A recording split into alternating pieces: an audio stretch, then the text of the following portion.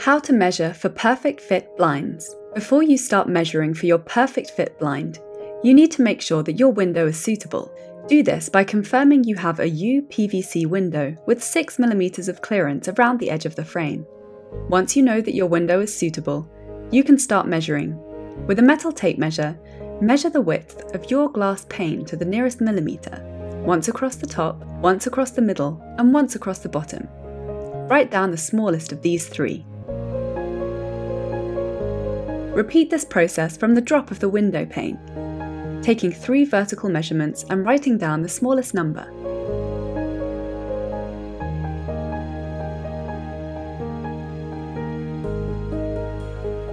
Finally, measure the depth of your window so we know which size bracket to provide you with.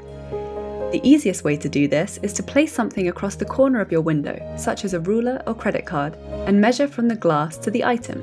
Usually this measurement will be between 18 and 24 millimeters.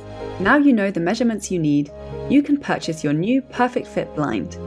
When it comes to fitting your blinds, we have another handy video to make the process a breeze.